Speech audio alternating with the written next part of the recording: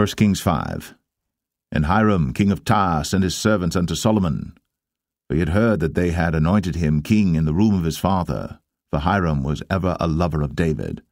And Solomon sent to Hiram, saying, Thou knowest how that David my father could not build an house unto the name of the Lord his God for the wars which were about him on every side, until the Lord put them under the soles of his feet.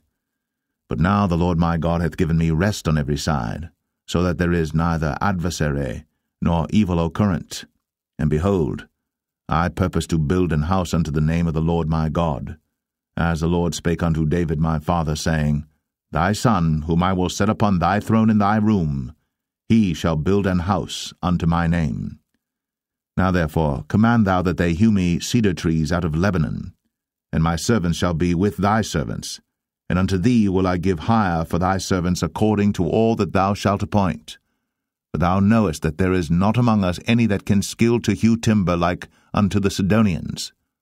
And it came to pass when Hiram heard the words of Solomon, that he rejoiced greatly, and said, Blessed be the Lord this day, which hath given unto David a wise son over this great people.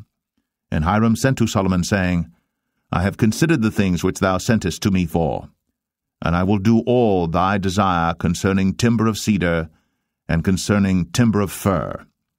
My servant shall bring them down from Lebanon unto the sea, and I will convey them by sea in floats unto the place that thou shalt appoint me, and will cause them to be discharged there.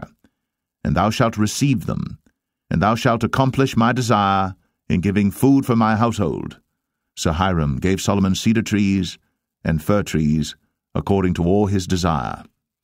And Solomon gave Hiram twenty thousand measures of wheat for food to his household, and twenty measures of pure oil. Thus gave Solomon to Hiram year by year. And the Lord gave Solomon wisdom, as he promised him. And there was peace between Hiram and Solomon, and they two made a league together.